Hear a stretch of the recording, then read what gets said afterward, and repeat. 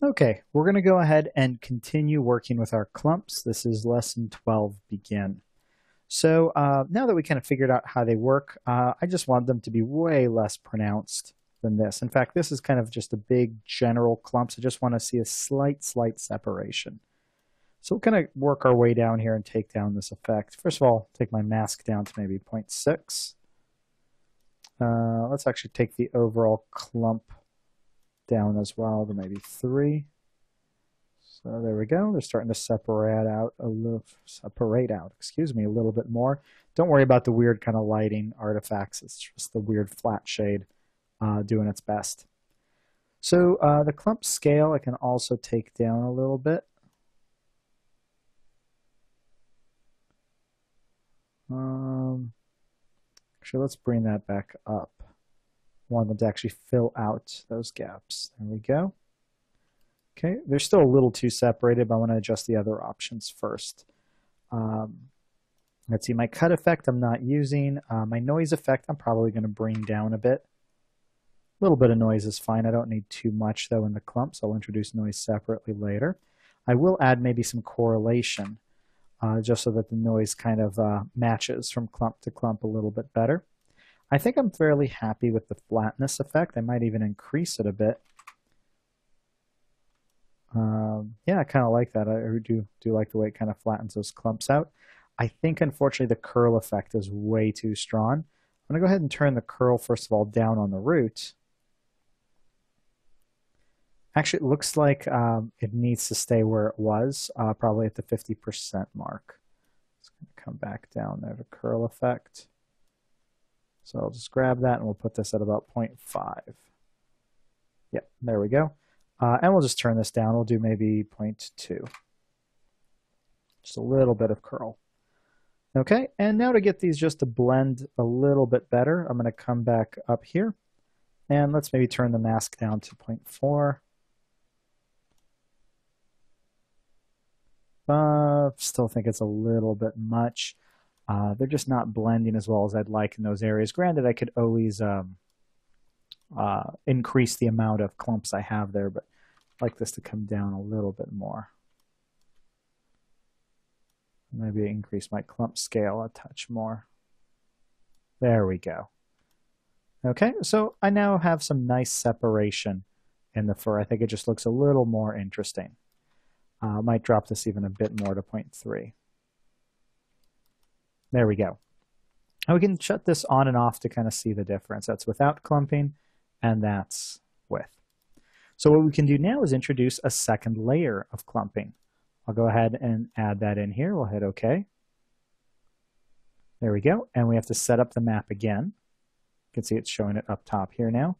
We'll go to Set Up Maps. And this time I actually want a lot of clumps. So uh, last time I believe I did a density of even less than 1. This time I'm going to do a density of about 5. Uh, maybe even more. Let's go maybe about seven. There we go. Just lots of clumps. Uh, six. Split the difference. There we go. And looks good. I'll hit save. Okay. And you could see it's now creating clumps on top of clumps. Now we have these little smaller, tighter clumps. So let's go ahead and now bring these down a bit. Now, I don't know if I'm necessarily going to need curl effect or you know noise and stuff on these. I kind of have that on the first clump, uh, but we can still you know try it out. Let's kind of work my way down. So let's turn off the overall effect, maybe to 0.5. Just split them up a bit.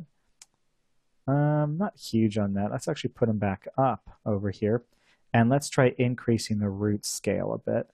So they blend a bit more. That's way too much. Trying to get them to kind of take up a little bit more space on the surface.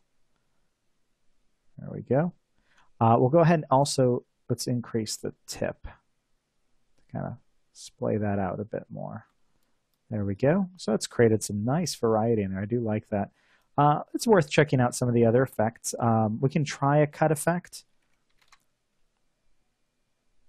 Okay. Um, that's shortened some of the clumps. Um, I'm not sure if I like that or not. Let's turn it off. Now, I think I'm going to leave this um, leave this off, and I'm going to add my separate cut effect later. I can add a bit of noise. Set that to 0.4. And remember, we do have to actually kick up where the noise is over here. So I'll go ahead and turn, again, the noise off of the root just on the tip. And this is, again, just for the sake of a little bit of variety. Let's go ahead and up the frequency to maybe 5. That's too much. Let's do a frequency of 1. So a little bit of kind of almost wave in the fur there, and we'll up the correlation pretty high. So it kind of just evens itself out a bit. So there we go. Uh, I don't know if I need anything else here. Uh, the flatness, I can add maybe a tiny bit of effect to this one. Again, I want uh, the flatness effect to be at the tip. And we'll go ahead and up this to maybe 0.3. And I'll just make those clumps a little bit flatter at the ends, make them a little more pronounced. A little bit easier to see. Cool, I like that. I do think the quality of the fur is looking pretty good, even just for a viewport display. Uh, curl, mm, we can try. Let's go ahead and up the tip curl a bit. Uh, I guess it's creating not a horrible effect.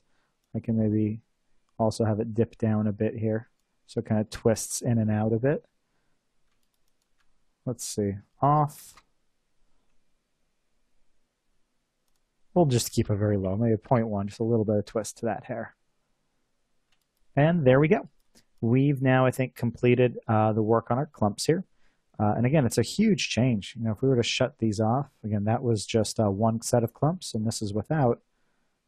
Oops, I turn that off there. And you can see how plain the fur looked before. Just adding these layers on just give it a lot more life, a lot more character. And again, you can go even further by actually adding in maps here to the masks just by going create map the same way we did for our density before. Okay, I'm going to go ahead and end this lesson here. And in the next lesson, we're going to go ahead and look at some other modifiers. So I'll see you guys there.